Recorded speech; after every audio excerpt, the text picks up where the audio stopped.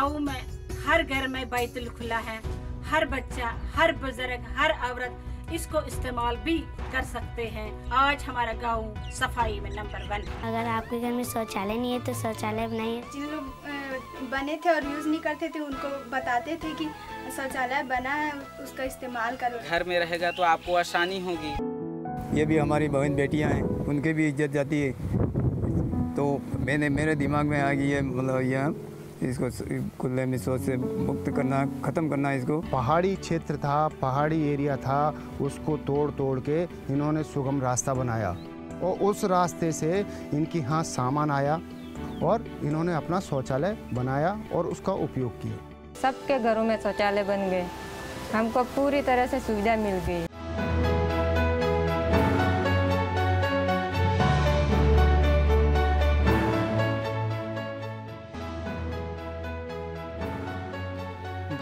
ସ୍ୱଚ୍ଛତା ଅଭିଯାନ ସାଧାରଣ ଲୋକଙ୍କ ଭାଗିଦାରୀ ବଳରେ ଜନ ଆନ୍ଦୋଳନ ପାଲଟିଛି। ଠିକ୍ ସେହିପରି ଯେପରି ଭାବେ ମହାତ୍ମା ଗାନ୍ଧୀ ଚରଖା ଚଲାଇ ଲୋକମାନଙ୍କୁ ସ୍ୱରାଜ ସହ ଯୋଡ଼ିଥିଲେ ଏକ ଆନ୍ଦୋଳନ ଗଢ଼ି ଉଠିଲା ଏବଂ ବ୍ରିଟିଶ ସାମ୍ରାଜ୍ୟ ଭାରତ ଛାଡ଼ି ଚାଲିଯିବାକୁ ବାଧ୍ୟ ହେଲା। ସ୍ୱଚ୍ଛ ଭାରତ ଅଭିଯାନ ସ୍ୱାଧୀନ ଭାରତର ଏକମାତ୍ର ମିଶନ ସାବ୍ୟସ୍ତ ହୋଇଛି ଯାହା ଅସ୍ୱଚ୍ଛତା ସହ ଲଢ଼ିବା ଲାଗି ଭାବନା ବିକଶିତ କରିଛି। ଏହି କାର୍ଯ୍ୟକ୍ରମ ଲୋକମାନଙ୍କ ବ୍ୟବହାରରେ ପରିବର୍ତ୍ତନ ଆଣିଛି। ପ୍ରଧାନମନ୍ତ୍ରୀ ନରେନ୍ଦ୍ର ମୋଦିଙ୍କ ନେତୃତ୍ୱ ପ୍ରତି ଅପାର ବିଶ୍ୱାସ ଏପରି ଏକ ପରିବେଶ ସୃଷ୍ଟି କରିଛି ଯେ ଆଜି ସାରା ଦେଶ ଖୋଲା ମଳମୁକ୍ତ ହୋଇପାରିଛି। ଦୁଇହଜାର ଚଉଦରେ କେନ୍ଦ୍ରରେ କ୍ଷମତାକୁ ଆସିବା ପରେ ପ୍ରଧାନମନ୍ତ୍ରୀ ନରେନ୍ଦ୍ର ମୋଦିଙ୍କ ସରକାର ଏହି ଲକ୍ଷ୍ୟ ନିର୍ଦ୍ଧାରଣ କରିଥିଲେ।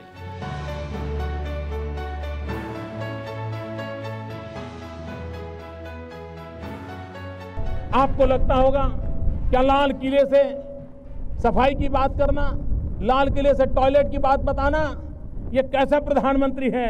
भाइयों बहनों, मैं नहीं जानता हूँ मेरी कैसी आलोचना होगी, इसे कैसे लिया जाए, लेकिन मैं मन से मानता हूँ। मैं गरीब परिवार से आया हूँ।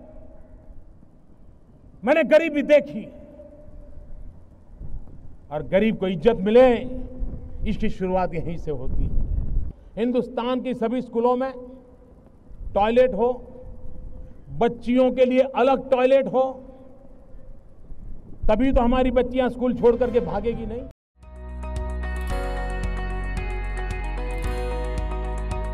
ପ୍ରଧାନମନ୍ତ୍ରୀଙ୍କ ବ୍ୟକ୍ତିତ୍ୱ ଏବଂ ନେତୃତ୍ୱ ଏହି କାର୍ଯ୍ୟକ୍ରମକୁ ବଳ ଯୋଗାଇଲା ଦେଶର ସାଧାରଣ ଜନତା ଯେତେବେଳେ ଦେଖିଲେ ଯେ ସେମାନଙ୍କ ପ୍ରଧାନମନ୍ତ୍ରୀ ନିଜେ ଝାଡ଼ୁ ଧରି ସଫେଇ କରୁଛନ୍ତି ସାରା ଦେଶ ପରସ୍ପର ସହ ହାତ ମିଳାଇ ଅଭିଯାନରେ ସାମିଲ ହେଲା। ଗୋଟିଏରୁ ଦୁଇଟି ଦୁଇଟିରୁ ଚାରୋଟି ଏହିପରି ହଜାର ହଜାର ଲକ୍ଷ ଲକ୍ଷ ହାତ ଉଠିଲା। ମଇଳା ଭଳି କଳୁଷତା ଦୂର ହେଲା। ଦେଶ ସ୍ୱଚ୍ଛତା ଦିଗରେ ଅଗ୍ରସର ହେଲା। ସମାଲୋଚକମାନଙ୍କ ବିଷୟରେ ଚିନ୍ତା ନ କରି ପ୍ରଧାନମନ୍ତ୍ରୀ ଗାଁ ଗରିବଙ୍କ ଏହି ମୂଳ ସମସ୍ୟାକୁ ଦୂର କରିବା ଲାଗି ସଂକଳ୍ପ ନେଲେ।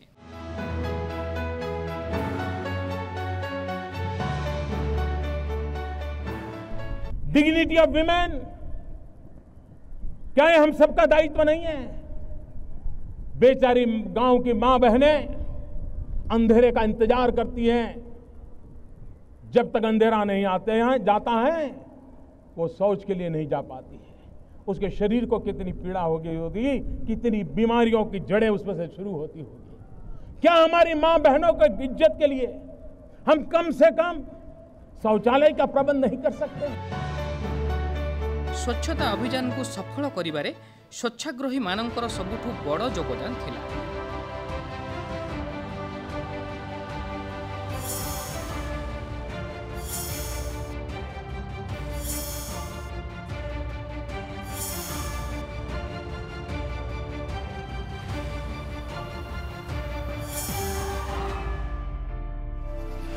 ସ୍ୱଚ୍ଛାଗ୍ରହୀମାନଙ୍କର ଯୋଗଦାନ ଦ୍ୱାରା ପ୍ରଧାନମନ୍ତ୍ରୀ ଏତେ ମାତ୍ରାରେ ପ୍ରଭାବିତ ହେଲେ ଯେ ସେ ପ୍ରୟାଗରାଜରେ ସଫେଇ କର୍ମଚାରୀମାନଙ୍କ ଯୋଗଦାନକୁ ପ୍ରଶଂସା କରି ସେମାନଙ୍କ ପାଦ ଧୋଇଦେଲେ। ଦେଶର ପ୍ରଧାନ ସେବକ ଯେତେବେଳେ ମାନବ ସେବାରେ ଜଡ଼ିତ ସେବକମାନଙ୍କୁ ସମ୍ମାନ ଦେଲେ ସାରା ବିଶ୍ୱ ଏହା ଦେଖି ସ୍ତବ୍ଧ ହୋଇଯାଇଥିଲା।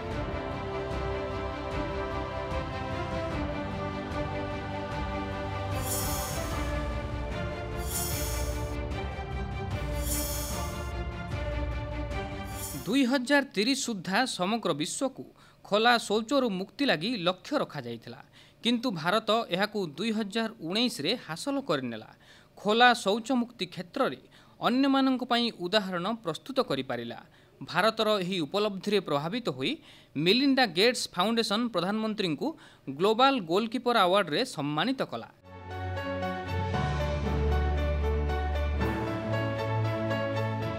स्वच्छ भारत मिशन लाखों जिंदगियों के बचने का माध्यम बना है। डब्ल्यूएचओ की ही रिपोर्ट है कि स्वच्छ भारत की वजह से तीन लाख जिंदगियों को बचाने की संभावना बनी है। इसी तरह यूनिसेफ ने अनुमान लगाया है कि गाँव में रहने वाला हर वो परिवार जो अपने घरों में शौचालय बनवा रहा है उसे कम से कम पचास हजार रुपये की बचत हो रही है इस संयुक्त राष्ट्र के लक्ष्यों को भी प्राप्त करने में अहम भूमिका निभाई ସ୍ୱଚ୍ଛତା ଅଭିଯାନର ସବୁଠୁ ବଡ଼ ଆହ୍ୱାନ ଥିଲା ସାରା ଦେଶରେ ଶୌଚାଳୟ ନିର୍ମାଣ କରିବା ଦୁଇ ହଜାର ଚଉଦ ସୁଦ୍ଧା ଦେଶରେ ପାଖାପାଖି ଅଡ଼ତିରିଶ ପ୍ରତିଶତ ଶୌଚାଳୟ ଥିଲା ଦୁଇ ହଜାର ଉଣେଇଶ ବେଳକୁ ସାରା ଦେଶରେ ଶୌଚାଳୟ ନିର୍ମାଣ ଶେଷ ହେଲା ଦେଶରେ ସ୍ୱଚ୍ଛତା ସର୍ବେକ୍ଷଣ ଆରମ୍ଭ କରାଗଲା ରାଜ୍ୟ ଏବଂ ସହରମାନଙ୍କ ମଧ୍ୟରେ ସ୍ୱଚ୍ଛତା ପାଇଁ ପ୍ରତିଯୋଗିତା ଆରମ୍ଭ ହେଲା हाँ स्वच्छता की थाम के डोर फिर बनेगा ये सिरमौर हैट्रिक चौका लगा दिया अब चारों ओर है शोर पंच लगाएगा ପରସ୍ପରଠାରୁ ଆଗକୁ ବଢ଼ିବାର ଇଚ୍ଛା ସ୍ୱଚ୍ଛତା ଅଭିଯାନକୁ ଆହୁରି ଶକ୍ତିଶାଳୀ କଲା ସ୍ୱଚ୍ଛତା ସର୍ବେକ୍ଷଣରେ ଇନ୍ଦୋର ପ୍ରସିଦ୍ଧି ହାସଲ କଲା ଲଗାତାର ସ୍ୱଚ୍ଛତାରେ ଅଗ୍ରଣୀ ରହିବାର ଗୌରବ ହାସଲ କଲା କିନ୍ତୁ ଏଥିସହିତ ଅନ୍ୟ ରାଜ୍ୟ ଏବଂ ସହର ପ୍ରତିଯୋଗିତାରେ ଲଗାତାର ଆଗକୁ ବଢ଼ି ଚାଲିଲେ ଏହି କାମରେ ଲୋକପ୍ରିୟ ବ୍ୟକ୍ତିବିଶେଷମାନେ ଆଗକୁ ଆସି ଅଂଶଗ୍ରହଣ କଲେ जब गांव वाले लगे परिवार जैसे तो हुआ ना गांव भी घर जैसा तो चलो मिलके गांव को भी घर जैसा साफ रखते हैं और अपना नाम रोशन करते हैं। भारत के घर घर में शौचालय खुला। अब खुले में जाना बंद। रखो दरवाज़ा बंद। हेलो शिल्पा बोल रही हूँ। शिल्पा? शिल्पा शेट्टी। दरअसल आपकी बालकनी से कुछ गिर गया है। क्या? आपके घर का कूड़ा गिर गया है। जो आप रोज गिराती हैं।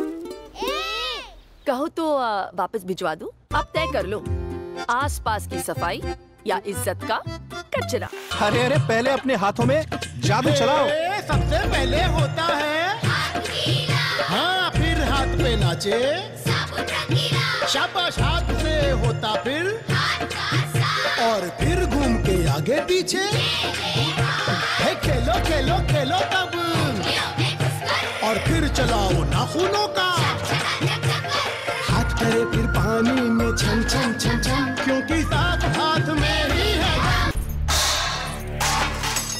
ଏକ ସଚ୍ କେଲେ ଟଏଲେଟ୍ ଭଳି ପ୍ରସଙ୍ଗରେ ଚଳଚ୍ଚିତ୍ର ନିର୍ମାଣ ହେଲା ଲୋକମାନେ ଏହାକୁ ଖୁବ୍ ପସନ୍ଦ କଲେ ଏଥିରୁ ଶିକ୍ଷା ମଧ୍ୟ ଗ୍ରହଣ କଲେ कर दिया मत तो घर के पीछे बैठ जाते हैं पर हम तो औरतें हैं हमें तो हर चीज के लिए ज्यादा मेहनत करनी पड़ेगी अब बीवी वापस आए ना आए संडास तो लाके छोड़ूंगा इस गांव में राधे राधे ଦେଶର ଗ୍ରାମାଞ୍ଚଳରୁ ସ୍ୱଚ୍ଛାଗ୍ରହୀମାନେ ବାହାରିଲେ ଏଥିରେ ମହିଳାମାନଙ୍କୁ ଅଧିକ ସଂଖ୍ୟାରେ ସାମିଲ କରାଗଲା ସ୍ୱଚ୍ଛତା ଅଭିଯାନର ପ୍ରଥମ ପର୍ଯ୍ୟାୟ ଦୁଇ ହଜାର ଉଣେଇଶରେ ସଫଳତାପୂର୍ବକ ପୂରଣ ହେଲା। ଖୋଲାରେ ଶୌଚ ଭଳି କୁପ୍ରଥାକୁ ସ୍ଥାୟୀ ଭାବେ ସମାପ୍ତ କରିବା ଏବଂ କଠିନ ଓ ତରଳ ବର୍ଜ୍ୟ ପରିଚାଳନା ସୁବିଧା ସହିତ ଏହି ଅଭିଯାନ ଏବେ ଦ୍ୱିତୀୟ ପର୍ଯ୍ୟାୟରେ ପ୍ରବେଶ କରିଛି। ଏହାକୁ ଓଡ଼ିଏ ପ୍ଲସ୍ ନାମ ଦିଆଯାଇଛି। ଜନଭାଗିଦାରୀକୁ ସାମିଲ କରିପାରିଲେ ଯାଇ ସ୍ୱଚ୍ଛତା ଅଭିଯାନ ସଫଳ ହୋଇପାରିବ।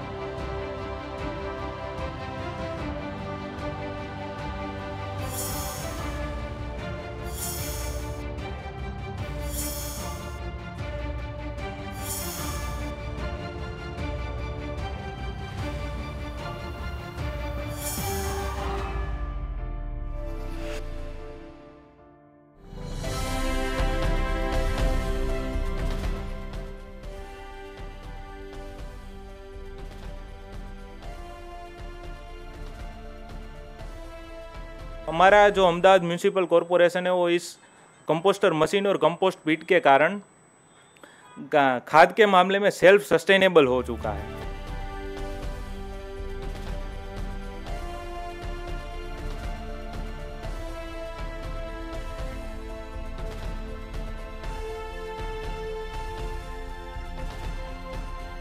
खाद बनाने के जो बैक्टीरिया होते हैं, वो हीट लविंग बैक्टीरिया हम इसमें यूज़ करते हैं। मतलब एंजाइम्स बोलते हैं। उसको कन्वीनियंट कन्वीनियंट एटमोसफियर हम मशीन के अंदर क्रिएट करते हैं, जिसकी वजह से क्या होता है, वो मोर एफिशिएंटली वर्क करता है। और जैसे अपने ट्रेडिशनल जो फोर्टी फाइव डेज़ तो नाइन्टी डेज़ जो खाद बनने में लगते थे, वो बैक्टीरिया की एफिशिएंसी बढ़ जाने की वजह से वो ट्वेंटी फोर आवर्स में वो अपना कंपोस्ट रेडी हो जाता है।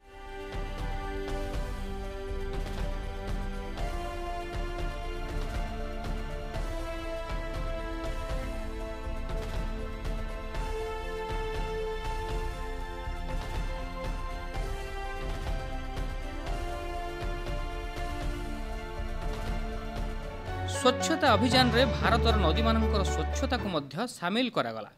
ପ୍ରଧାନମନ୍ତ୍ରୀ ନରେନ୍ଦ୍ର ମୋଦି ସାରା ଦେଶରେ ନଦୀଗୁଡ଼ିକର ସ୍ୱଚ୍ଛତାକୁ ଏକ ଅଭିଯାନ ଭାବେ ଛିଡ଼ା କଲେ। ପ୍ରଧାନମନ୍ତ୍ରୀ ବାରାଣାସୀରେ ଅଶୀ ଘାଟରେ ଫାଉଡ଼ା ଧରି ଅଳିଆ ସଫା କଲେ। ଏହା ମାଧ୍ୟମରେ ସେ ବାର୍ତ୍ତା ଦେଲେ ଯେ ନଦୀମାନେ ଭାରତର ବିକାଶ ଯାତ୍ରାରେ ଅଭିନ୍ନ ଅଙ୍ଗ ଏବଂ ସେଗୁଡ଼ିକୁ କୌଣସି ମତେ ସ୍ୱଚ୍ଛ ରଖିବାକୁ ହେବ। ଏହାର ଅନ୍ତର୍ଗତ ନିର୍ମଳ ଗଙ୍ଗା ପ୍ରକଳ୍ପ ଆଗକୁ ବଢ଼ିଲା। ସ୍ୱଚ୍ଛତା ଅଭିଯାନ କାରଣରୁ ଗଙ୍ଗା ନଦୀ କୂଳରେ ଅଳିଆ କରିବାର ପ୍ରବୃତ୍ତି ହ୍ରାସ ପାଇଲା ଏବଂ ଗଙ୍ଗା ନଦୀର ପବିତ୍ରତା ବଜାୟ ରଖିବାର ଚିନ୍ତାଧାରା ସୁଦୃଢ଼ ହେଲା।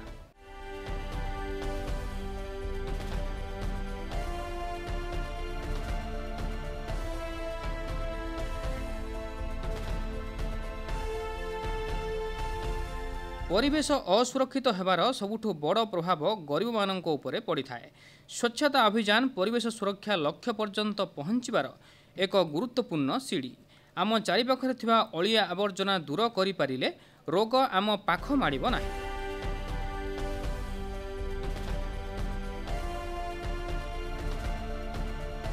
ସ୍ୱଚ୍ଛ ବାୟୁ ଏବଂ ପାଣି ଉପରେ ସମସ୍ତଙ୍କର ଅଧିକାର ରହିଛି। ସ୍ୱଚ୍ଛ ପାଣି ଏବଂ ବାୟୁ ମାଧ୍ୟମରେ ହଜାର ହଜାର ରୋଗରୁ ସୁରକ୍ଷିତ ରହିବା ସମ୍ଭବ। ଏହାର ସବୁଠୁ ବଡ଼ ଲାଭ ଗରିବମାନଙ୍କୁ ମିଳିବା ସୁନିଶ୍ଚିତ। ପରିବେଶ ସୁରକ୍ଷା ମାଧ୍ୟମରେ ଗରିବମାନଙ୍କୁ ମିଳୁଥିବା ଲାଭ ଜଳବାୟୁ ସୁରକ୍ଷାଠାରୁ ଆରମ୍ଭ କରି ଜଳବାୟୁ ନ୍ୟାୟ ଦିଗରେ ପ୍ରଧାନମନ୍ତ୍ରୀଙ୍କ ଚିନ୍ତାଧାରାକୁ ବ୍ୟକ୍ତ କରିଥାଏ।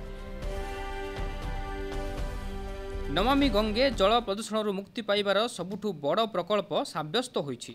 ନଦୀମାନଙ୍କର ତଟବର୍ତ୍ତୀ ଅଞ୍ଚଳ ଏବଂ ଆଖପାଖର ଇଲାକା ମଇଳା ଓ ପ୍ରଦୂଷଣରୁ ରକ୍ଷା ପାଉଛନ୍ତି। ଗଙ୍ଗା ନଦୀ କୂଳରେ ଏସ୍ଟିପି ପ୍ଲାଣ୍ଟ ଏଥିରେ ସକ୍ରିୟ ଭୂମିକା ନିର୍ବାହ କରୁଛି। କାରଖାନା ପାୱାର ପ୍ଲାଣ୍ଟ ଏବଂ ଯାନବାହନରୁ ନିର୍ଗତ ଧୂଆଁ ବାୟୁ ପ୍ରଦୂଷଣର ବଡ଼ କାରଣ। ଏସବୁରୁ ବାହାରୁଥିବା ଧୂଆଁ ଏବଂ ବିଷାକ୍ତ ଗ୍ୟାସ୍ ଆମ ସ୍ୱାସ୍ଥ୍ୟ ଉପରେ କୁପ୍ରଭାବ ପକାଇଥାଏ। କାର୍ବନ ନିର୍ଗମନ ହ୍ରାସ କରିବା ଲାଗି ଭାରତରେ ଅନେକ ଗୁଡ଼ିଏ ଗୁରୁତ୍ୱପୂର୍ଣ୍ଣ ପଦକ୍ଷେପ ଗ୍ରହଣ କରାଯାଇଛି। ସାରା ଦେଶରେ ନୂତନ ବାହନ ବିଏସ୍ ଛଅ ମାନଙ୍କ ଅନୁଯାୟୀ ହେବ। ଡିଜେଲ ଓ ପେଟ୍ରୋଲର ପୁରୁଣା ଗାଡ଼ି ଚଳାଚଳ ଉପରେ ଅଙ୍କୁଶ ଲାଗୁ କରାଯାଇଛି। ସିଏନ୍ଜି ଗାଡ଼ି ଇଲେକ୍ଟ୍ରିକ୍ ବାହନ ଗ୍ରୀନ୍ ଫୁଏଲ୍କୁ ପ୍ରୋତ୍ସାହନ ଦିଆଯାଉଛି। ଶକ୍ତି ସଂରକ୍ଷଣକୁ ପ୍ରୋତ୍ସାହିତ କରୁଥିବା ଛତିଶ କୋଟି ଅଠସ୍ତରୀ ଲକ୍ଷ ଏଲ୍ଇଡି ବଲ୍ବ ସାରା ଦେଶରେ ବିତରଣ କରାଯାଇଛି। ଉଜ୍ଜଳା ଯୋଜନା ଫଳରେ ଚୁଲିରେ ରାନ୍ଧିବାର ପରମ୍ପରା ଧୀରେ ଧୀରେ ଦେଶରୁ ଦୂର ହେଉଛି। କାର୍ବନ ନିର୍ଗମନରେ ପାୱାର ପ୍ଲାଣ୍ଟ ଗୁଡ଼ିକ ବଡ଼ ଭୂମିକା ନିର୍ବାହ କରିଥାନ୍ତି।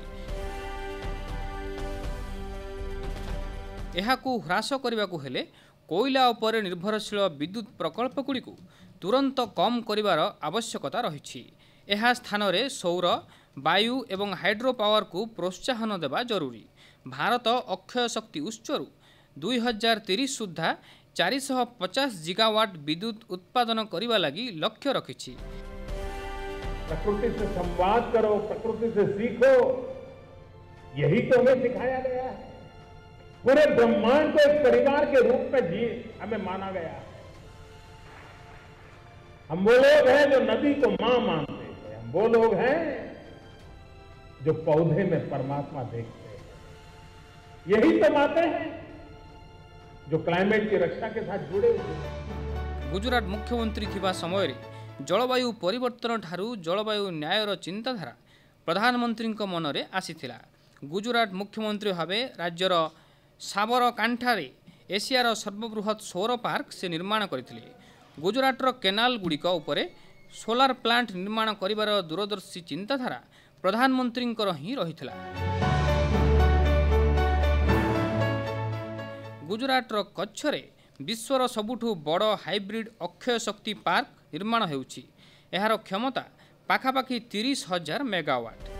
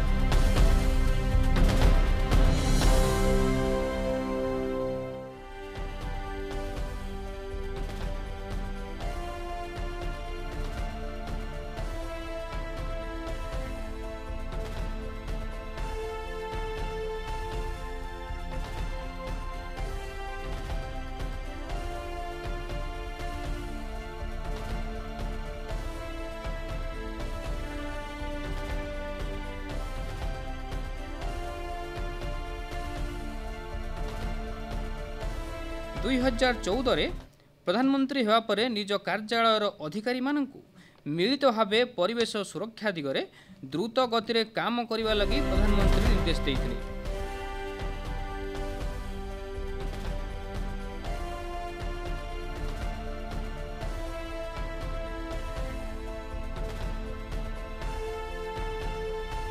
ପ୍ରଧାନମନ୍ତ୍ରୀଙ୍କ ଜଳବାୟୁ ନୀତି ବିକାଶ ସହିତ ସଂରକ୍ଷଣ ଉପରେ ଆଧାରିତ। ସିଙ୍ଗଲ ୟୁଜ୍ ପ୍ଲାଷ୍ଟିକ୍ର ବ୍ୟବହାର ବନ୍ଦ କରିବା ଭାବନାକୁ ସୁଦୃଢ଼ କରିବା ଲାଗି ପ୍ରଧାନମନ୍ତ୍ରୀ ମହାବଳେଶ୍ୱର ସମୁଦ୍ର କୂଳରେ ନିଜେ ପ୍ଲାଷ୍ଟିକ୍ ବର୍ଜ୍ୟ ଗୋଟାଇଥିଲେ। ପ୍ରଧାନମନ୍ତ୍ରୀଙ୍କର ଏହି ପଦକ୍ଷେପକୁ ସାରା ଦେଶ ଦେଖିଲା ଏବଂ ପ୍ରେରଣା ଲାଭ କଲା। ପ୍ରଧାନମନ୍ତ୍ରୀ ଜଳବାୟୁ ସଂରକ୍ଷଣ ଲାଗି ଭାରତରେ ଏବଂ ବିଶ୍ୱସ୍ତରୀୟ ମଞ୍ଚରେ ଜଣେ ନେତୃତ୍ୱକାରୀ ଦାୟିତ୍ୱ ନିର୍ବାହ କଲେ। ଅନ୍ତର୍ଜାତୀୟ ସୌର ମେଣ୍ଟ ଏହାର ଉଦାହରଣ। ଯାହାର ମୁଖ୍ୟାଳୟ ଭାରତରେ ରହିଛି ଏବଂ ପ୍ରାୟ ଅଶୀଟି ରାଷ୍ଟ୍ର ଏହାର ସଦସ୍ୟ ଅଛନ୍ତି। ଭାରତ ପ୍ୟାରିସ୍ ଚୁକ୍ତି ପାଳନ କରିବା ଲାଗି ସମ୍ପୂର୍ଣ୍ଣ ଭାବେ ପ୍ରତିଶ୍ରୁତିବଦ୍ଧ। ଏନ୍ଡିସି ଲକ୍ଷ୍ୟ ଅଧୀନରେ ଭାରତ ଦୁଇ ହଜାର ତିରିଶ ସୁଦ୍ଧା ଚାଳିଶ ପ୍ରତିଶତ ଇନ୍ଧନ ସବୁଜ ଉତ୍ସରୁ ସଂଗ୍ରହ କରିବାକୁ ଲକ୍ଷ୍ୟ ରଖିଛି। ଏହି ଦୃଷ୍ଟିରୁ ଭାରତ ନିଜ ଏନ୍ଡିସି ଲକ୍ଷ୍ୟ ନିର୍ଦ୍ଧାରିତ ସମୟ ପୂର୍ବରୁ ହାସଲ କରିବା ଆରମ୍ଭ କରିଛି।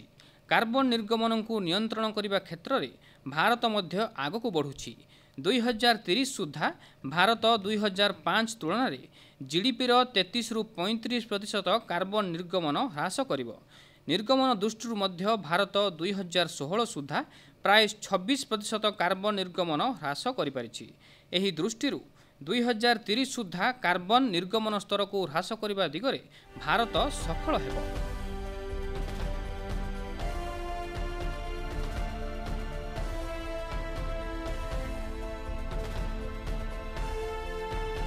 People and planet are inseparable. That human well being and nature are indivisible. So, we have set ambitious targets.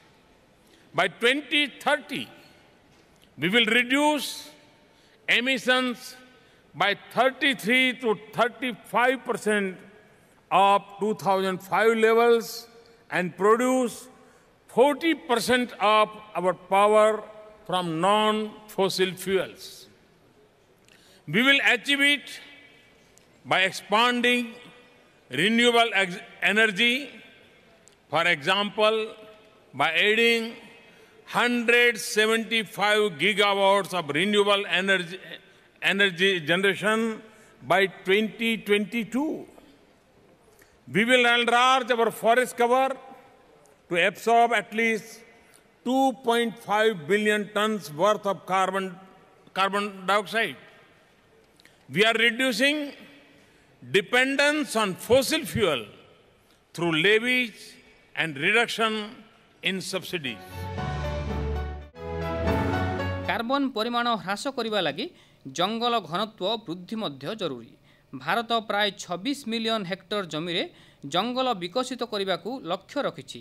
ଏହାର ନଜିର ପୁଣେର ଅର୍ବାନ ଫରେଷ୍ଟ ପ୍ରୋଜେକ୍ଟରେ ସ୍ପଷ୍ଟ ଭାବେ ଦେଖିବାକୁ ମିଳିପାରିବ।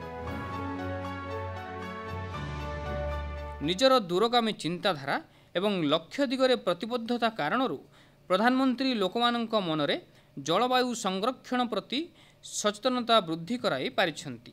ଲୋକମାନେ ନିଜ ଜୀବନଶୈଳୀରେ ସୁଧାର ଆଣିବା ସହିତ କାର୍ବନ ନିର୍ଗମନ ହ୍ରାସ ଦିଗରେ ମଧ୍ୟ ଦାୟିତ୍ୱ ନିର୍ବାହ କରିଛନ୍ତି।